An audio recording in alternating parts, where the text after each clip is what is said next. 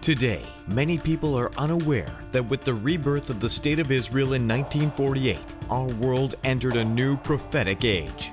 For those who know, this marks the beginning of a significant time prophesied throughout the Bible.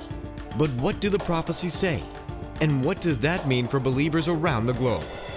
Between Heaven and Earth, the new DVD series and study guide by Reverend Dr. John Tweedie explores these prophecies and the signs of the times. This special DVD set and study guide is just $109 plus shipping and handling.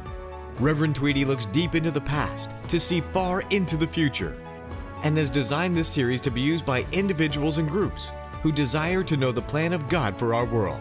Call the number on your screen now or go to c4i.ca and order your copy of the Between Heaven and Earth DVD series and study guide and discover how God has used Israel to bridge the gap between heaven and earth. We are waiting for your call.